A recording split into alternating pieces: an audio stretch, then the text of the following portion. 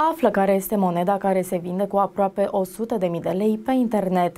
Moneda nu este una foarte veche, astfel că te îmbogățești dacă o găsești prin casă.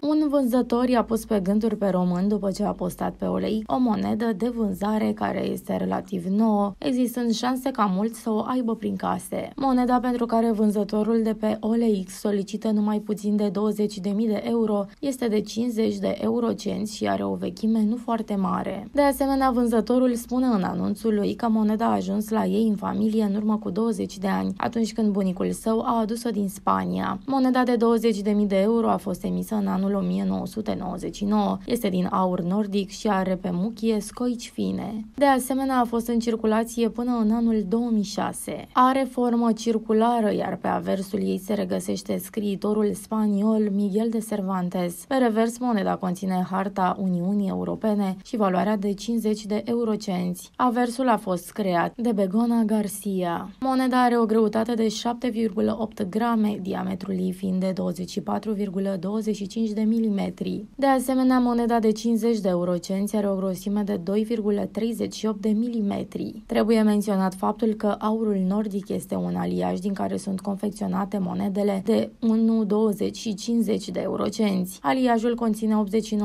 89% cupru, 5% zinc, aluminiu 5% și staniu în proporție de 1%. Astfel, moneda de 50 de eurocenți nu este din aur, ci din alam, așa cum este denumit aliajul din combinarea elementelor enumerate.